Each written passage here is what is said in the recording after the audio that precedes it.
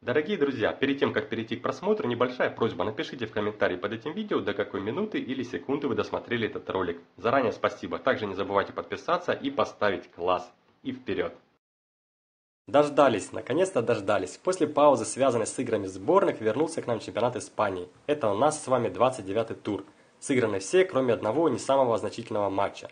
На вашем экране все результаты, 26 э, голов было забито пока что. Эспаньол и Бетис открывали тур 2-1 в пользу Эспаньола. Если команда поднажмет, сможет попасть в зону Еврокубков. А пока, пока. Второй тур удивляет Вильяреал. На этот раз команда в День смеха решила рассмешить своих болельщиков, уступив Ибару на своем поле 2-3. Ну, надо сказать, что Ибар уже 12 раз снял скальп в этом сезоне со своих жертв. Атлетика Бильбао разобралась с аутсайдером Асасуной на выезде 1-2. Реал со следа должен был бы брать 3 очка с Леганесом дома, но не смог 1-1.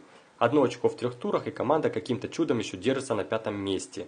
Еще один поставщик очков Малага уступила столичному Атлетико 0-2. Коки и Луис Филипе забивали у Симеона по-прежнему лихорадит Севилью, на этот раз ничья 0-0 с Хихонским спортингом. Последний раз Севилья выигрывала в 25-м туре. Реал Мадрид без проблем навалял Алавесу сухую 3-0. Бензема, Иско и Начо. Два последних забили под занавес матча. 21-я победа Реала в Ла Лиге. Голевой задел Реала поддержала Валенсия, команда тоже 3-0 обыграла Депортиво. Как и Севилья, Валенсия побеждала последний раз в 25-м туре. Барселона оправдывает звание самой забивающей команды в этом сезоне. 85 матчей команда дорузила соперникам. Первый результат в чемпионате Испании. На этот раз 4 мяча от Барса получила Гранада. 4-1 общий счет игры. В понедельник 3 апреля завершится тур матчем Сельта Лас Пальмас. В 30-м туре центральный поединок ожидается в Барселоне, куда приедет Севилья. Также отметим интересную пару Атлетико Мадрид, Реал Сосьедад.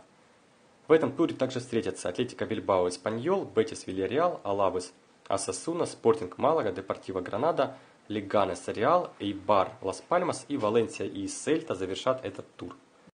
В турнирной таблице Реал набирает 68 очков и опережает Барселону на 2 очка.